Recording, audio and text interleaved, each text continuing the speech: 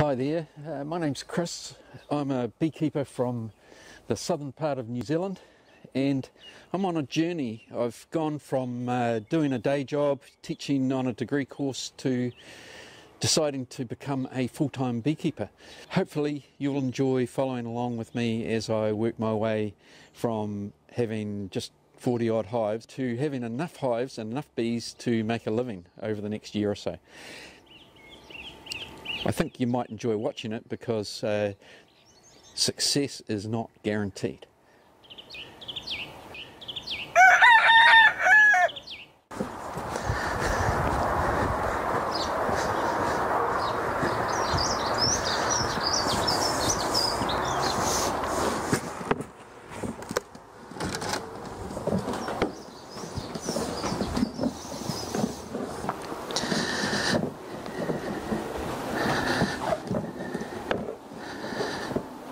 Right.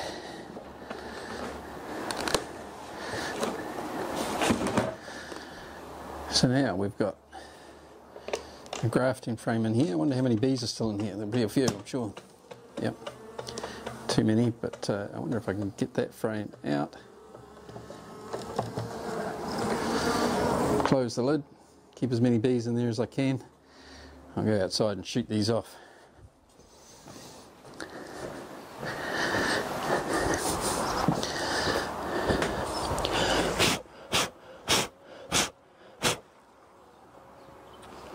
Shoo, shoo, shoo, shoo, shoo.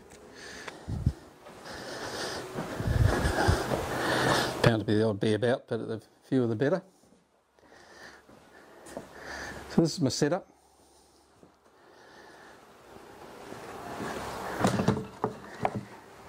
So before I start filming this, I just want to reiterate that I'm not an expert at this. I've not done that many.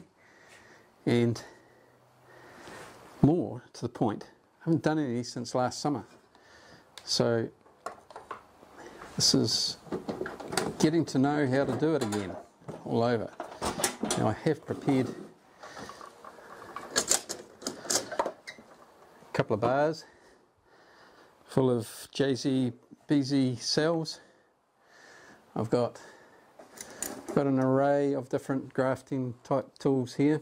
So I've got little grafting things, I've got brushes, and I've got Chinese grafting tools.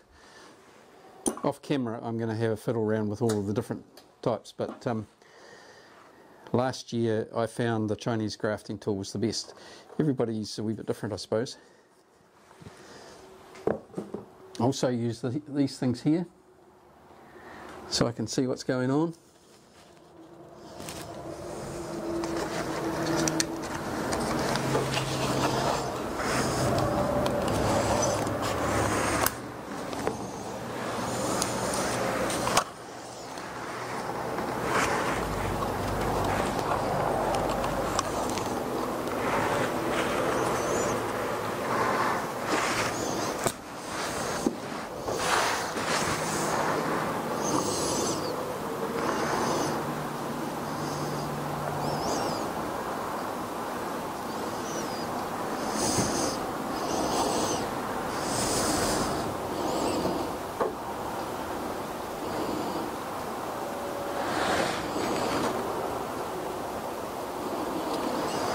First egg for the year done, first larva for the year done. So picking them up is the bit that I find the hardest.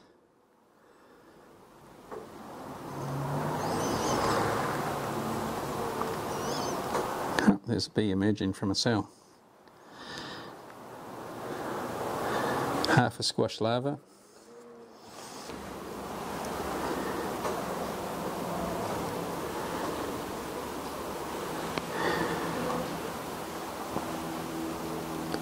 Here we go, number 24.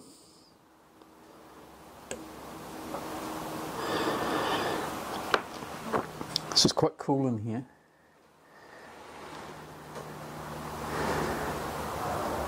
As you can see, it's hard to see anything in the bottom of those cells. So now I'll get the frame, insert those bars into it.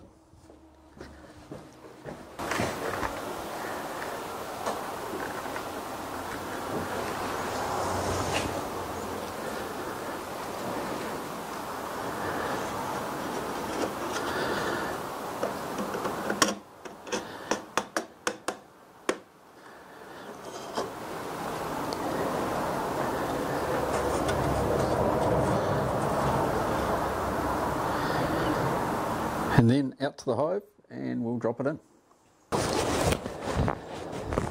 So, realistically, if I can get a 50% take on my first graft for the season, I'll be quite happy.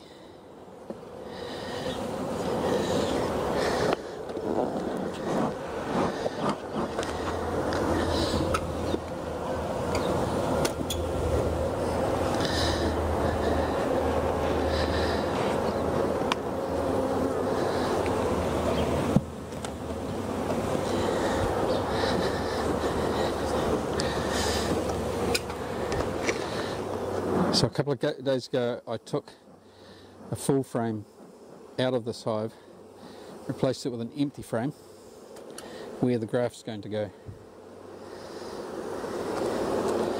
In fact, empty as in it's just got a starter strip in it. And it's interesting to see that these bees packed in here like this are busy festooning getting ready to draw wax on this frame.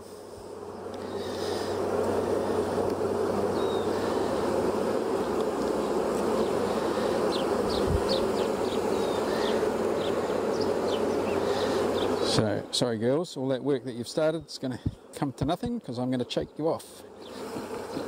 I'm going to take that frame out. Now because I'm in a nuke, I've only got five frames up the top. I've got brood. I've got, gotta get this in before I spend too much time talking. Make sure those don't drop out as I roll it over. Ah, bugger. Okay, so 50% take is that estimate has just dropped to 25%.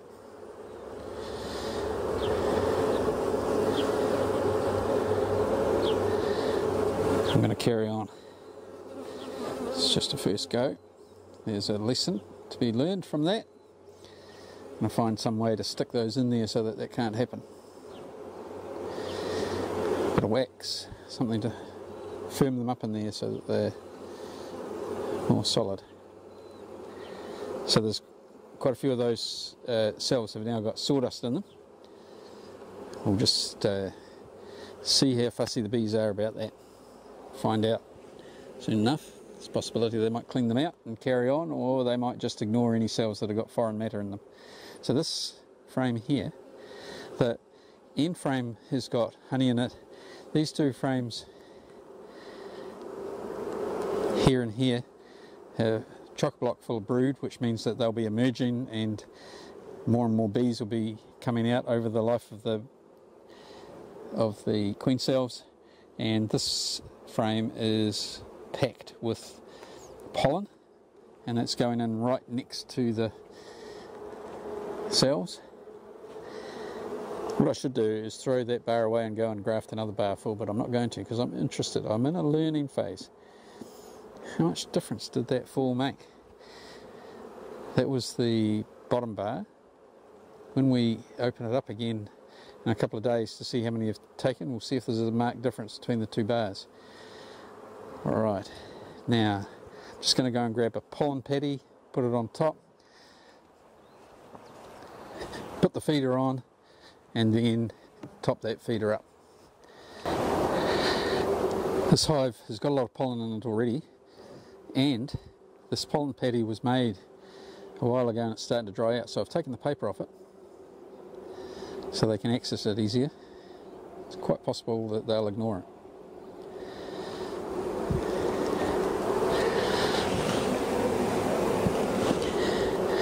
Actually. I'm just going to pick it up and move it over so it's on top of the brood and not on top of the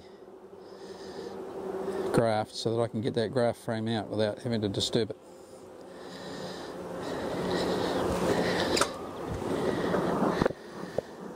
So, I'm sure I've said this before and I'll say it again many times.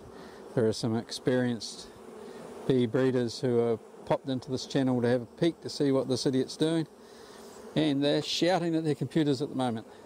because of all the things I've done wrong. Not the least is dropping one of those bars on the ground and not doing anything about it, just putting it straight back in the hive. Plenty of time, and this is early enough, as I've said a number of times.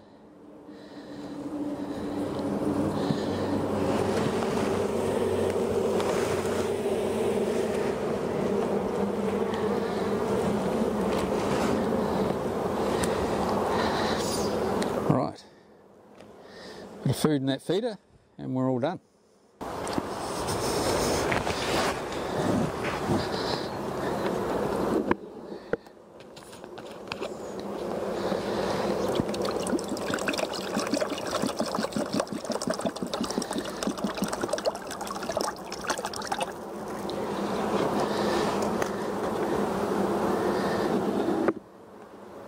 That feeder was bone dry and I'd topped it up three days ago.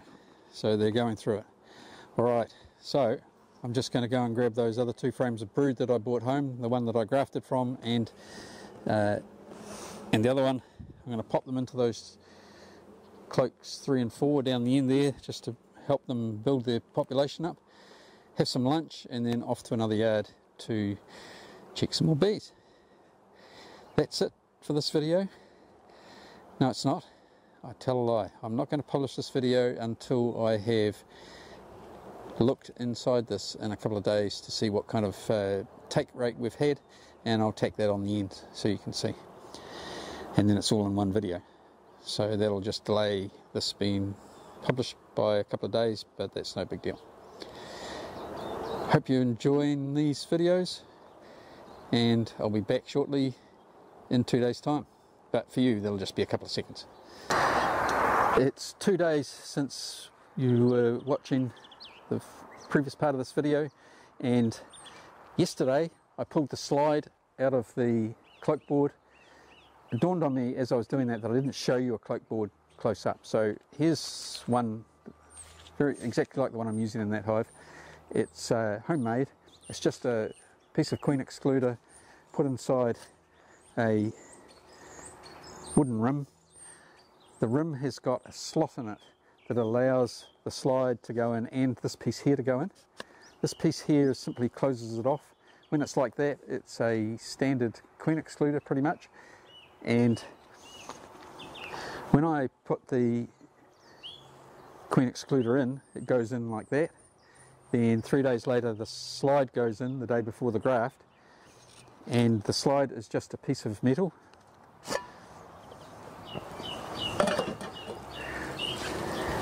Just a piece of sheet tin. Just about anything would do. Corflute, hardboard, plywood.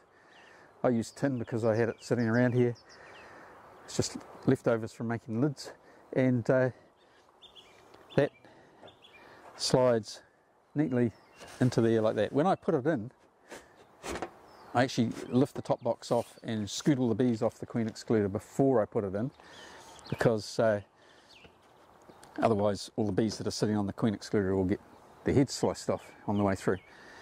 So while that's like that, you'll see that there's a space there and that gives you that top entrance. So when the front entrance is closed and the bees are returning, they can come up and into the hive like that.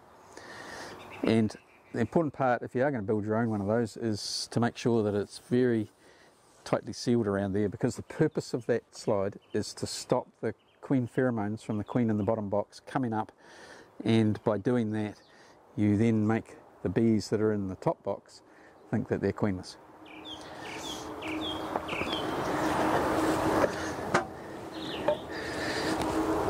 So in this hive here, the slide's out, that little block is back in, the front door is now open again. I did that yesterday when I took the slide out. The back door is now closed. So this is quite exciting. What am I going to find? Uh, I suppose there's a possibility it's a complete wipeout, in which case we'd have to ask the question, would I publish this video? And the answer is yes, I would, because uh, this is uh, documenting my journey, and if I've made a complete stuff up and it didn't work, then I will own up to it and we'll have another go. So I'll probably don't actually need a smoker. You can see I'm using old uh, Hessian sack in my smoker. It's actually uh, sacks from a coffee roaster, so the coffee beans come in them.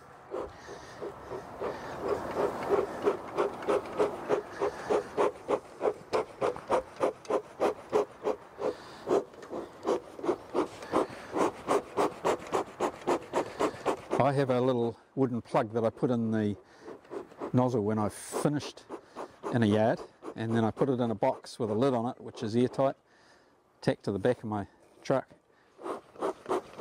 and then it just snuffs it out which means that I've got a nice dry piece of fuel sitting in there for starting it the next time.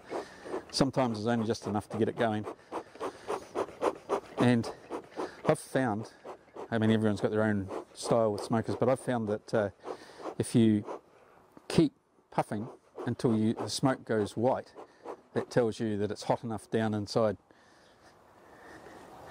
to keep going and not go out on you. Uh, the most important thing I've found with smoker is to have dry fuel. So that should sit going for ages now. I bought an extra piece of hessian because I wasn't sure what was inside the smoker, but I won't need that. And then the other important thing with a smoker is where you put it. Put it in the wrong place and you get a face full of smoke. I'll just bring that camera forward and then we'll dive back down into that hive and see what happened. Now, I have not looked into this hive. So you're going to see it at the same time I am. I'll either be happy or I'll be disappointed or I'll shrug my shoulders and say, yeah, that's about what I expected.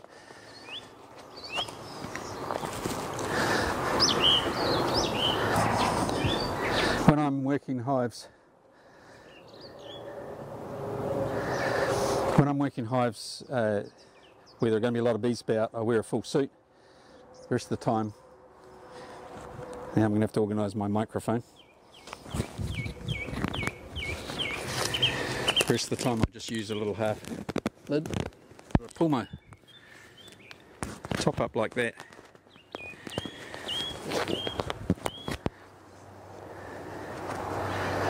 Just to stop the bees coming down through my neck, around my neck. So it's an overcast day here. It's been raining this morning, but it's starting to warm out up and the bees are just starting to fly. You don't need to tie that up. All right, let's have a look, see what's going on.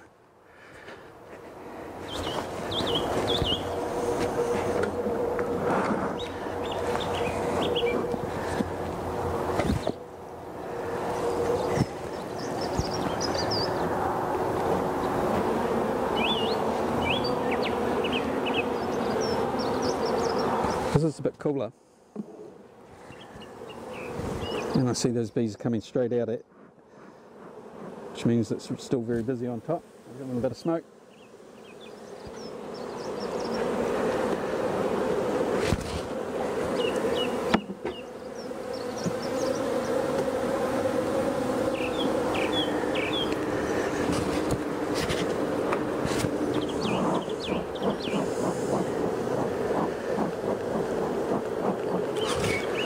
Sounding very busy.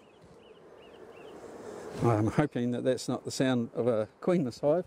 I have last year when I was doing this, I did actually lose a queen during this process, and uh, I'm not 100% sure whether I squished her or what the deal was.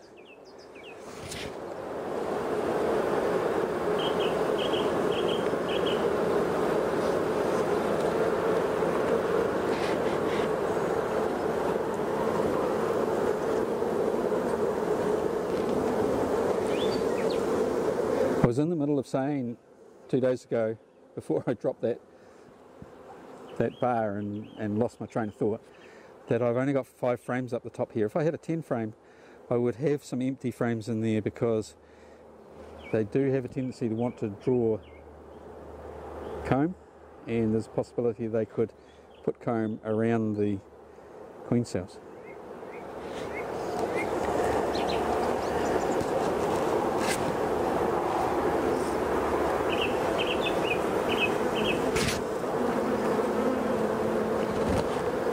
I'm just going, I'll just get my bee brush and just gently brush those off so we can see a bit better.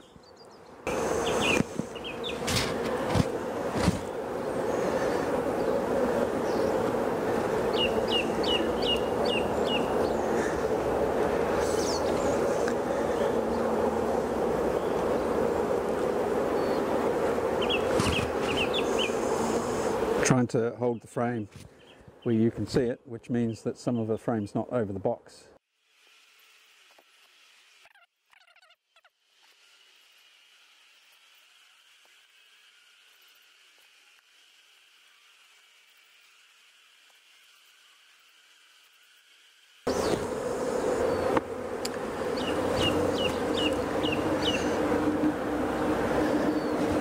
I'm counting one, two, three, four, five, six, seven on the top bar out of 12. And on the bottom bar, the one that I dropped, one, two, three, four, five, six, seven, eight, maybe nine.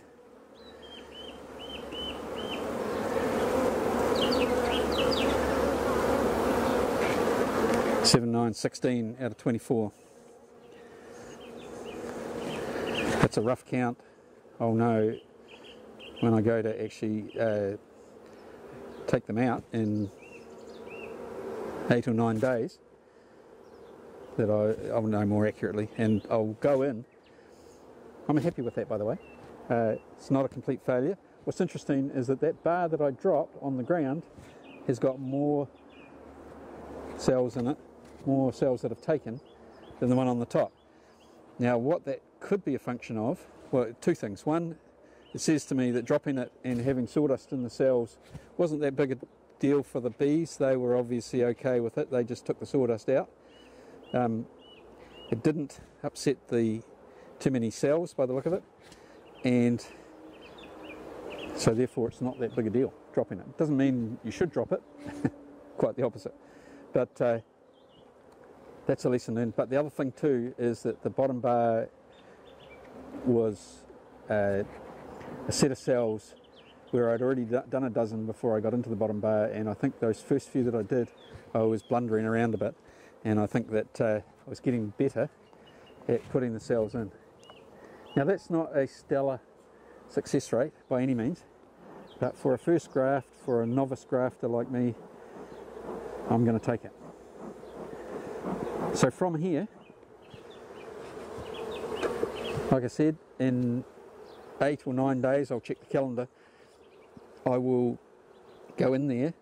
Best to leave them alone in the interim period because as those uh, queen cells are being drawn out and the larvae inside them are developing, they are really, really fragile and a bump at that stage can damage the queen cell, the, the the larva a larva, B larvae inside and you can uh, kill the queens. So best just to leave them alone from now until we get uh, ready to take them out as queen cells and put them into splits. I could put them in my incubator, let them emerge completely and then introduce them as virgin queens.